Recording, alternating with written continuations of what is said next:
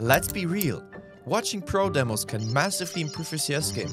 But to start watching, you have to find a demo, download it, move it to the right folder, launch CS, open the console and start the replay. In this video, I will show you a faster, way more efficient method to access demos. Completely free and directly from your browser. I will walk you through how to start watching, how to use multiple POVs to understand executes and hold bomb sites, how to clip your favorite rounds and even how to watch key plays live during events like IEM Melbourne.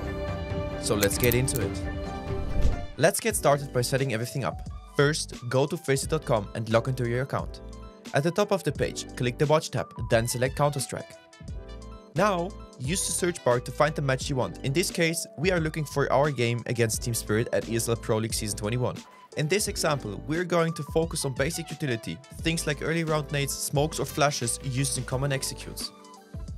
Once we find a setup we like, we will switch to three different POVs to see everything that's happening, who's throwing utility, who's entering, and how the timing plays out from each perspective.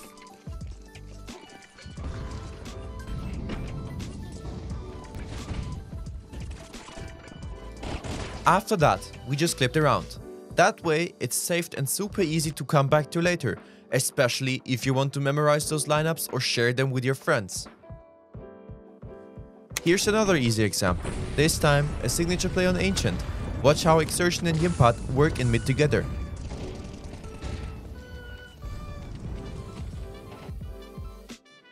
Same procedure, find the play, switch POVs, clip it, and you've got a perfect reference anytime you need it.